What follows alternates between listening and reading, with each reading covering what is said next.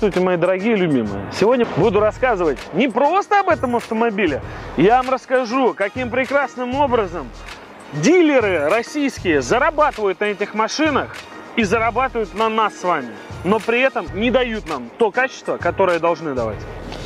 Значит, первое. Это самая настоящая погремушка. Меня всегда удивляло, что у нас пол Москвы купила этих замечательных автомобилей, и ни один владелец не может признаться, моя машина просто погремушка. Да, GTR это техническая мысль, новейшая, правильная, интересная. Ну вот просто ультиматум физики. Да, действительно быстрая, да, рулится, да, четкая, да, хорошая, но вся пластмассовая, гремит все, стуки от коробки постоянные. Причем не только на этом автомобиле, а абсолютно на всех. Приезжает Женсер, в Женсере говорят, вы знаете, вот это нормально, то нормально, этот звук нормальный. А, гремит передняя часть автомобиля, гремит вся подвеска, гремит сзади. Пробег 6 тысяч километров.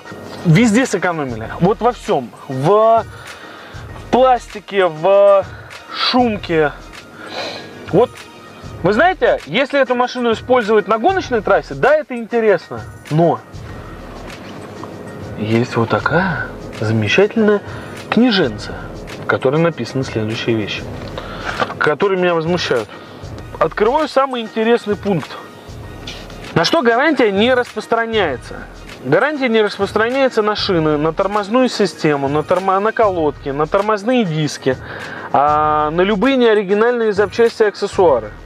Но самое интересное, а компания Genser и представительство Nissan – вот в этой замечательной гарантийной книжке говорят о следующем, что первое, вы не можете часто нажимать на педаль акселератора.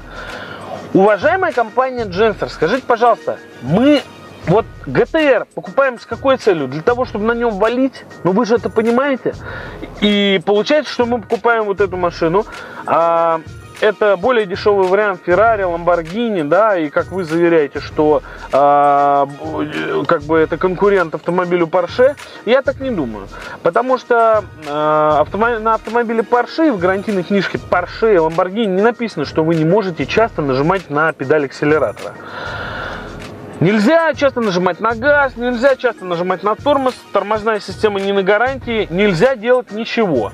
Значит, отказом, поводом для отказа в ремонте коробки передач, двигателя э, в компании, э, которая продает эти автомобили, является э, следующая вещь. Вот представьте, вы проехали от светофора до светофора. Не при скорости 60 км в час, как в городе вы должны сделать, а, предположим, 140. И 99% э, людей, которые покупают эти машины, они делают так.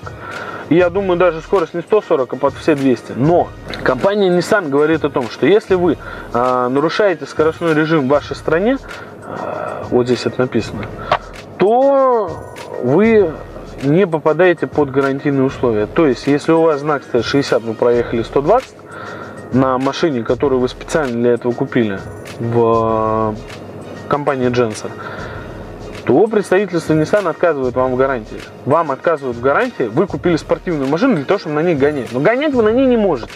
Поэтому я считаю, что чем отдавать почти 5 миллионов, 4 там э, с чем-то, плюс страховка, плюс колеса, в итоге у вас выйдет 5. Вот чем отдавать 5 миллионов вот за эту машину, я считаю, что за 6,5 проще или там э, за те же деньги можно бушные купить реально Porsche. Купить Porsche, купить Lambo, купить Ferrari. Эти машины будут более, ну, я считаю, интересны. Но просто отдать 5 миллионов и не получить гарантию, это бред. Вам отказывают во всем. То есть вот эта книжка, это самый натуральный обман потребителя. Как на это не обратили внимание еще, я ну, не знаю. Да, она держит дорогу, да, она валит. Но она не стоит этих денег. Просто не стоит. Это для машины, для дураков. Если вы хотите получить от этой машины хоть капельку комфорта, забудьте об этом. Его здесь просто нету. Вот просто нету его. Да, эта машина может на гоночной трассе показать какой-то результат. Но вам туда нельзя, потому что вас снимут с гарантии. Вот эта вот панель, они вот это кому сделали? Они что, заблудились в 80-х годах? Ну что это за кнопочки? Ну что это такое вообще? Ну это позор, вот это позор. Ну это же не серьезно. Ну, ну кто так мог сделать? Как? Вы разрабатывали там космическую машину, которая делает какие-то супер-мега показатели на трассе на гоночной. Вы развесовку делали, и вы не могли вот эти вот панельки сделать. Вот эти вот панельки, на которые человек смотрит каждый день. Бред. Давайте посмотрим на цифры, на реальные цифры. Все говорят, что ГТР едет 3,5 секунды. Давайте это проверим прямо на ваших глазах. Так, пробуем.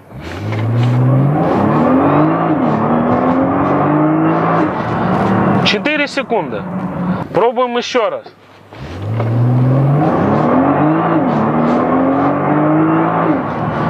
Четыре сорок четыре.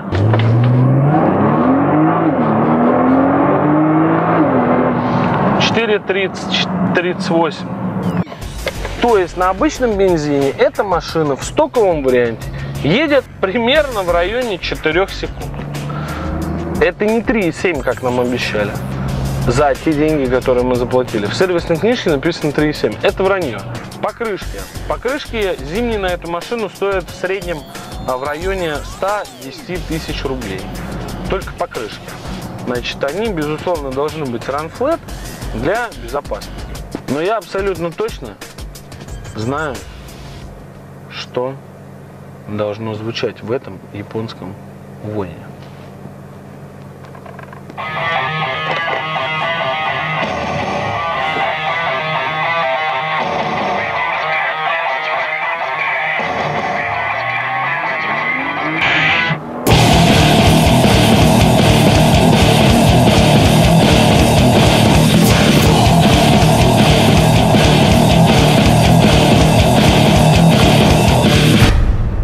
Такое ощущение, что я в Японии побывал.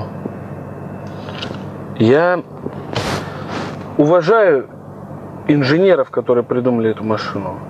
Я уважаю всю компанию Nissan, которые смогли сделать вот эту машину, несмотря на те автомобили, которые они производят. Потому что, по-моему, все автомобили, которые производит Nissan, полное говно. А вот это, наверное, лучшее произведение вообще искусства и инженерной мысли компании Nissan. Но, как всегда, наша страна э, сумела э, показать, кто мы для нее, покупателя. То есть я, человек, который должен отдать вот за эту машину 4,5 миллиона рублей, не имею никаких прав, никаких гарантий, ничего. Даже компания Ferrari и Lamborghini в нашей стране дают больше гарантий, чем дают на автомобиль Nissan.